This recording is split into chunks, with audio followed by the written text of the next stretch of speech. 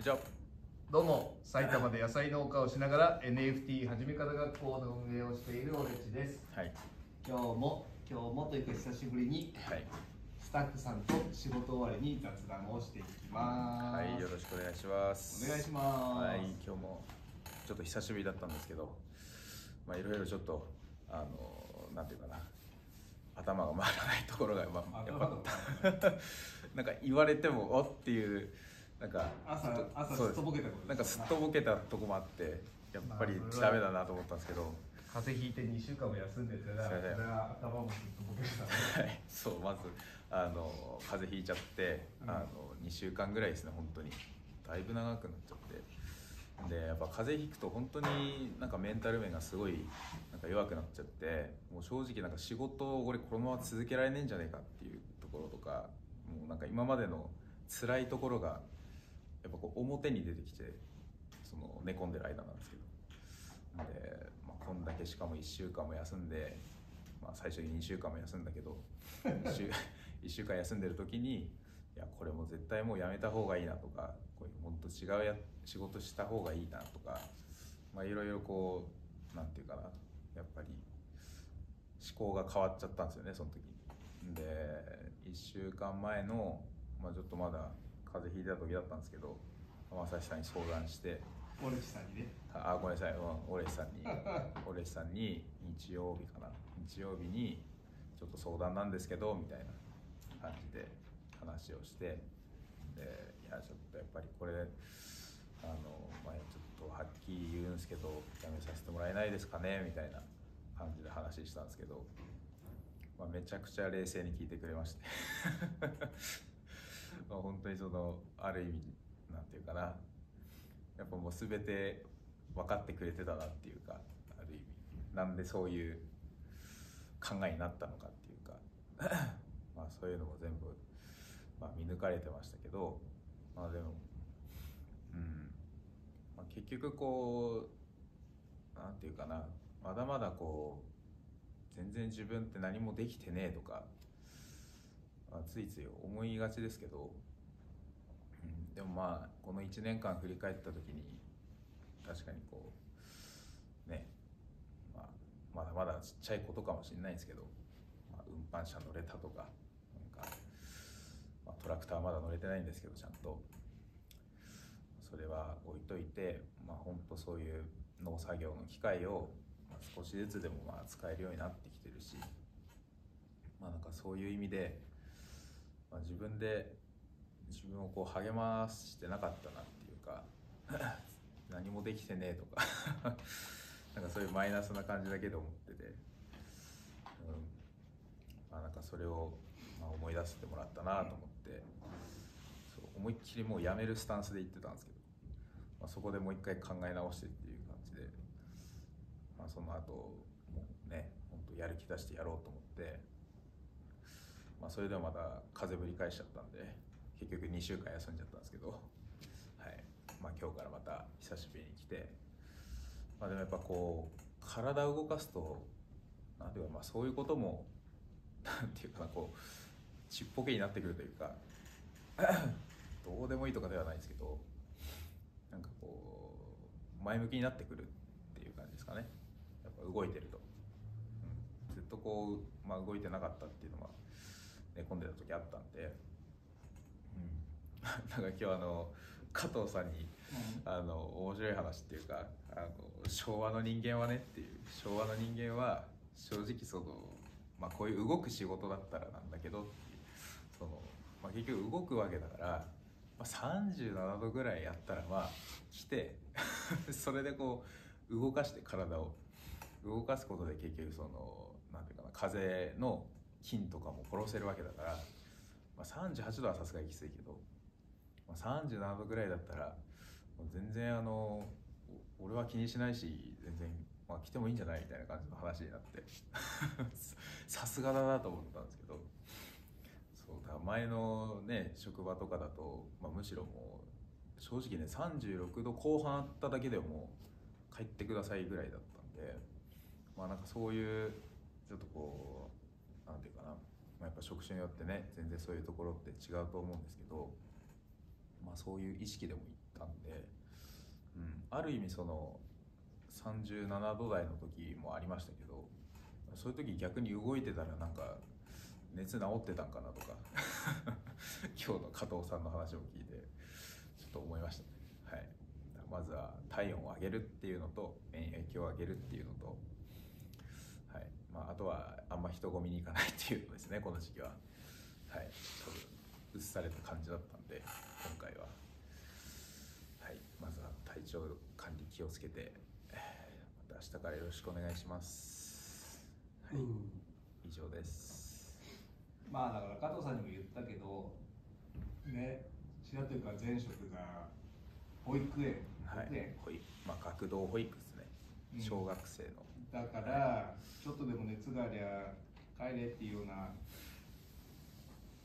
ことが当たり前だと思ってんじゃないの？みたいな話もしたし、うん。まああとはその昭和だからなんだとかじゃないけど、はい。まあやっぱり俺ら若い頃と今の若い子だとやっぱこう周りの対応が違うからね。うん。言っちゃえばすげえお俺らから見ればよ、うん、甘やかしてる 甘やかされて育ってんだそう多分そう追われて追われてんだろうなと思って。うん、で実際の話俺も風邪ひいてたうん、あなんか聞きました加加藤さん。も風邪ひいてたうんなんか。で俺も加藤さんも熱があってやってんのははい。うーん俺の場合なんでかっつったらもう俺がいないと他の人の仕事が回んないから。あはい。で君が休めちゃうっていうのはやっぱりまだ責任背負ってないから仕事に対して。うん。うん。白鳥君がいないと仕事が回らない。うん。白鳥がい俺が行かなきゃ仕事にならないっていう多分思いが持てないうん。だと思うよ。それはやっぱまあまだ1年半ぐらいではい。ね自分で仕事を埋めるレベルまで行ってないからあれなんだけど、うん、でもまあその代わり覚えとかなきゃいけないのはやっぱりチームとしてやってるんで君がいない穴はみんなで埋めてたんですよ。っていうことは申し訳なかったです。はい。俺と加藤さんだけじゃなくてよ。いや女の人もそう、はい。うん、みんなそう、うん、なんでよく覚えておいた方がいいよっていうのと、はい。はい。あとやっぱりやっぱ病は気からっていうのと同じようにうん。やっぱ自分で病に打ち勝つって気持ちはつ大事かなとはあ思うあそれよね気力っすよ。うん。そう。だから風邪ひいてるって思っちゃったらもう負けちゃうんだよね。うん。だから俺なんかもうんうん。まあう、うん、引いてねえぐらいの。気合で。気のせいだぐらい気合で仕事はしちゃいます、ただそれをやっぱり強要できる強要するような時代ではないんうん。だけどやっぱこうなんだろうな。うーん強要される時代じゃないからそういう雰囲気でもないからあなんだろうあ圧があるような環境でもないから逆にそこで甘えちゃうか自分自身であの、うん。うんうん、気持ちを持ち上げれるかですごい多分差が出ちゃうんじゃないかなと思います。なるほうん、なんでそこはねこれこれからまだ長い社会人生活を送っていく中でだんだん仕事を覚えれば責任のある立場になっていくし、うん。ね、それこそ彼女だ奥さんだ子供だできたら、うん。うん、より責任持って働かなきゃゃいけなくなると思うんで、はいうん。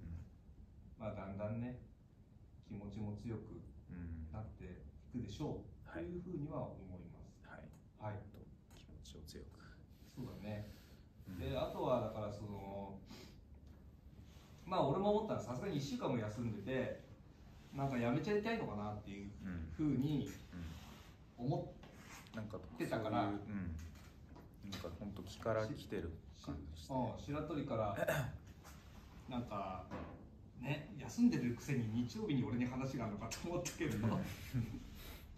まあそういう話をしてくるんだろうなっていうふうには思ってるけど、うん。でもなんだろうあの時にも話したけどね。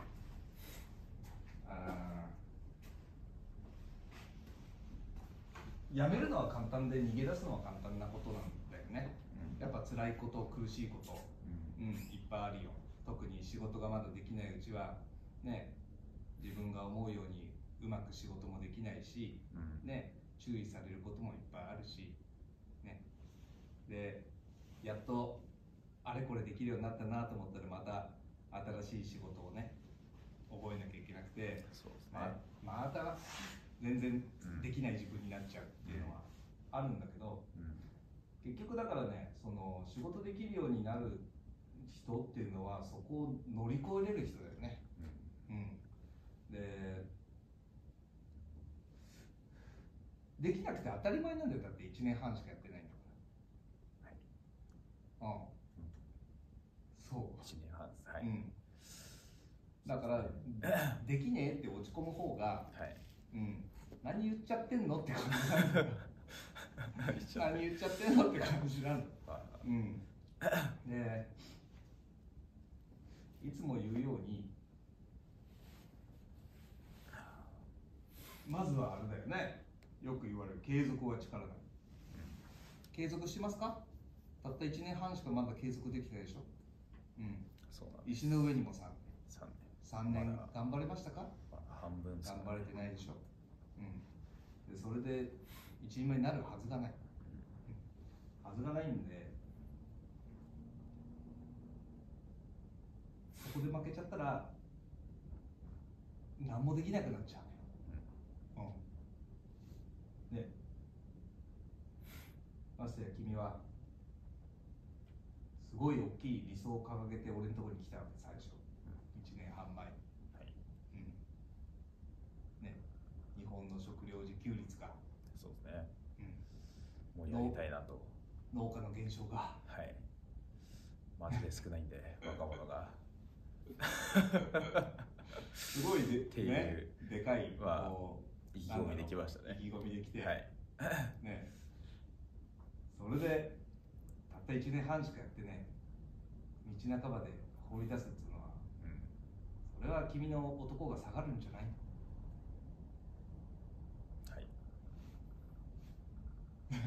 はい。と思います。はい。はい。鬼滅の刃が大好きで炭治郎のみたいに強くなりたいって言った君がはい。そこで逃げ出すのはそうですね。うん。ストーリー終わっちゃいますからね。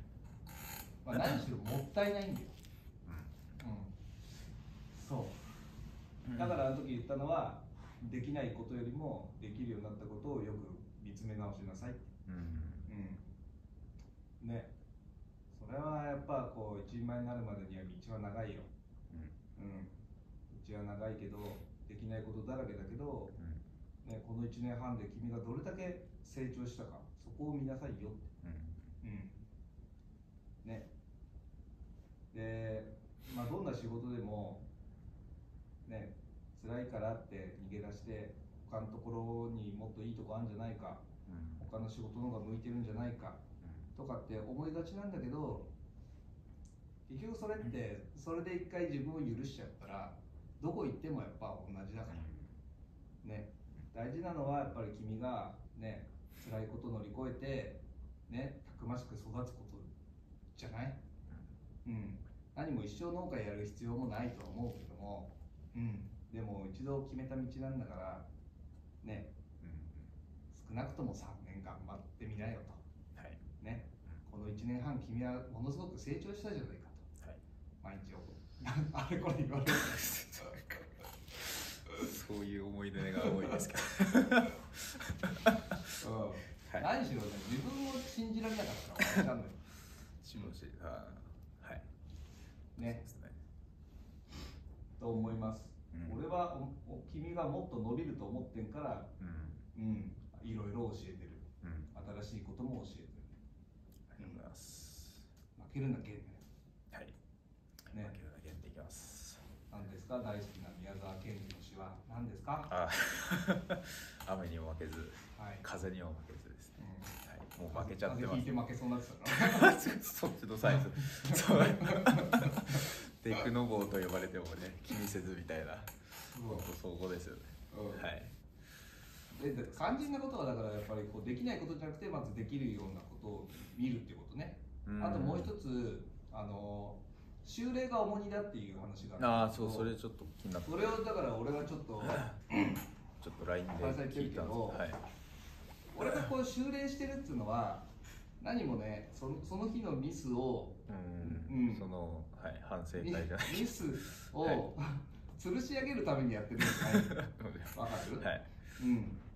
あのーことから何か一つでも気づきを得て、うん。何か一つでも成長の糧になってほしいと思ってる、うん。うん、だからね。い俺いつも修例始まるときにいつもじゃないから最近なんかずーっと反省同じような反省ばっかり繰り返してるから同じようなミスしてね、はい。やってんからそうじゃないんだよ。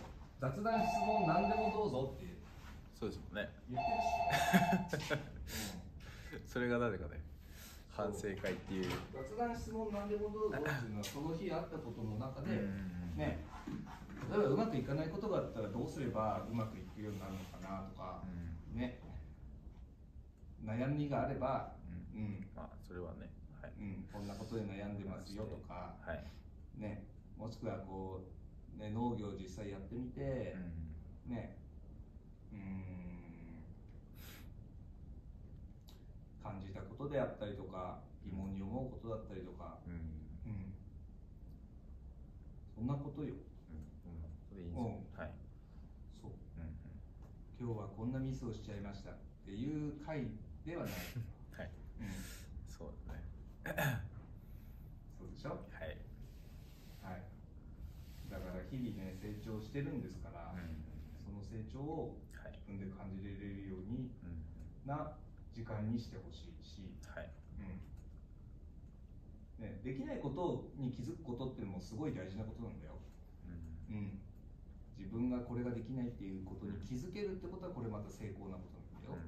成長への道なのよ、はい。うん、何ができて何ができない。うん。何を知ってて何を知らない。うん。ね。だからこれを知らなきゃいけないしうん。これができるようにならなきゃいけないっていう知ることがすごい大事成長にはね、なんでうん。うん。そう。だからそこで俺が思ってるのとちょっと違うなっていうふうにはずっと感じてうん。たんですよね、うん。うん、あとは何だろうね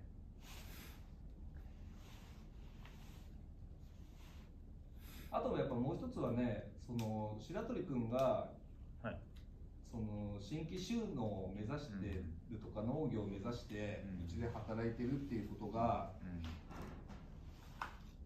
ん。誰かの役に立ってると思うんだよね。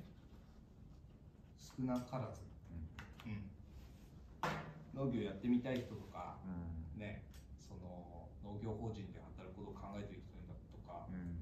うん、もしくは今ね農業やってて悩んでる人だとか、うん、の君の悩みや君の気づきがうん。誰かの役に必ずなるし、うん、君の成長していく姿が誰かの励みに必ずなると思うんだよね。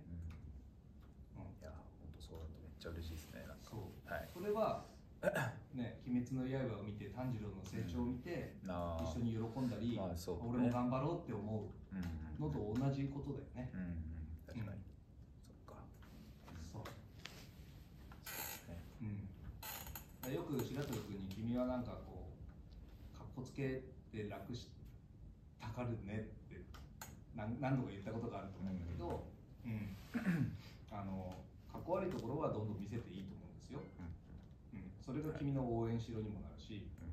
君の成長物語にもなるんですよ、はいうん、でもそんな中でやっぱりこうミスしたら へこんだりとか、ね、注意されたら落ち込んだりとかしちゃうと思うんだけどはい。その時はやっぱりあのー俺なんかはいつもそうしてるけどあ言われたこととか全部正面から受け止めようとしちゃダメよ、うん、あ誰かに何か言われたらその中で自分の糧になるところだけ受け止めてああね。なるほその他のところは受け流すぐらいでいいのよ、どああまあ、大事なとこをちゃんと受け要は止めて。れば自分の成長につながることはしっかり受け止めなさい、はい。うん、でも、ね。何やってんだ？とか。はい。またやってんの？みたいな、はそう傷ついちゃうようなことはもう受け流しちゃっていい,、いいよ。いいんだよ、はい。うん、は多分お互いそう、うん。うん、はい。真面目だからね君はね。いやーなんか。言われたら100言われたら100受け止めようとするかもしれないけどはい。その中で大事なことだけちゃんとうん。伝わればはい。ねうん。あと自分のメンタルをを傷つけるようなことは、うん。うん、聞き流しちゃっていいと思います、あうん、ーいやそういうふうにしていかないとはい。世の中渡っていけないし 毎日楽しく過ごせなくなっちそうですね。本当楽しく仕事したいんで、ゃう、うん、はい。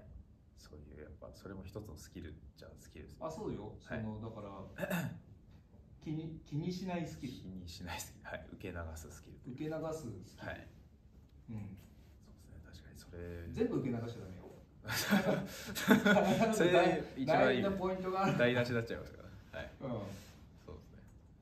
大事なとこをちゃんと受け止めなんか注意されたり感情的にねあの怒られるようなことが多分今までの人生でもいっぱいあったと思うんだけど、はい。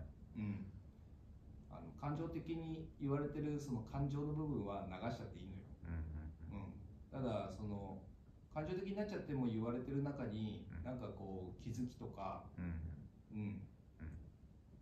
必ずあると思うんだよね、そういったところはしっかり自分のものにしていくっていうの受け流す力、うん。鈍感力みたいなこと言うけどさ、うん、そういうのは大事。よあ。あ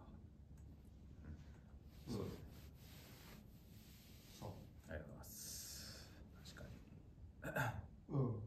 大志の最初君が来た時に俺は言ったようにはい。ね3年後に社長を目指せと、うん。うん、はい社長になるためには風邪ひいて弱気になってる場合じゃない そうですよ。本当にだから。本当山行きからなんですよね。病は気からです、はい。うん。まず気をつけないと。うん、本当に。楽しく。あとあそうそうそう。あと大事なことが忘れてたああはい。何でしょう。ね俺と君には、はい。その覚悟が違う原因があるよって言ってね。覚悟が違う。俺には守るべきものがいっぱいあるけど君にはあ今はねっていう話、はい。なるほど。はい。うん、はい俺はそう従業員のみんなも考えなきゃいけないし、ね。家族のことも考えなきゃいけないし、うん借金返すことも考えなきゃいけないし、いやたくさんですよねはい。もう逃げれないほど いろんなものを背負って生きてるから、すごいですうん、君はまだでもそういったのがないから、だからちょっとなんか困難になった時にそのまあ逃げなくなっちゃう、うん気持ちがはい。弱くなっ支えがないからね、そうですね。うん、自分背負うものっていう要は支えだからね、あうん、あそうですよね。そうです。だから俺が今年ちょっと今はい。考えてるのは、はい。白鳥君にはい。可愛い彼女を見つけてやるです。おおそしたら。守るべきものを見つけてやる。めちゃめちゃ頑張りますね。多分ね そうでしょ、はい。なんでこれねね。YouTube 見てくれてる人もいると思うんですけども、はい。うん。まあちょっとね岩手から出てきてはい。一人暮らしでね。はい。まだねこっちで友達も少ないうん。白鳥君の友達になってくれる。友達になってくれる肩募集みたいはい。方を大募集します。な 大募集。いやマジで。よろしくお願いします、ねあい。いじゃんめっちゃ嬉しいですね。イベントとかも白鳥君と一緒に野菜取ってみようみたいな。それすごい楽しそうですよね、本当に。そうでしょ？うん。前はね一人でまあイベントとかやりましたけど、うん。いきなり彼女になってくださいっていうのをいやいやいやまずはお友達から。はい、そうですね。うんそれだけでめっちゃ嬉しいですよ。俺の支えになってくれるようなお友達を大募集してます。大募集してます。はい。コメントダイレクトメダイレクトメ ツイッターツイッターじゃない X にもね。募集してますみたいな。そうだよ。はい。俺えー白鳥は明日、い。えートラクターの免許を頑張っていやそうなんですよ。練習ちょっと組んでねはい明日あるんでまずそれを。大型大型特集のおこしゃ限定免許。そうですね。練習バチッと言ってください。はい。はいほんで頑張ります25日は狭山市の農業祭があるからまあなんか工言ってましたよね。はい。うんそうそうそう25日やったらなるほど。手伝いなさい。はい。ね。よろしくお願いします。そこでもちょっと彼女募集のポップを作って用意しとくね。去年は確かえ？YouTuber ですみたいな感じでやってくれましたけど、はい。今回はそういう感じです白鳥君はい。にちょっと会ってみたいよ。話,、はい。話してみたいよって方いたら ぜひ狭山市の農マジぜひぜひ。いやめっちゃやってはいお待ちしてますんで。はい。よろしくお願いします。そんなわけでね。はい。若者よ。迷う中で、迷うことなかれ。はい、うん、まっすぐ自分を鍛えてました。はい。強くなりましょう。はいなりましょはい。うはい。というわけで長くなりましたが。いやいやいや本当ありがとうございます。はい、はい。本日の修例お疲れ様でした。お疲れ様でした。それでは明日頑張ってください、はいさようなら。はいさようなら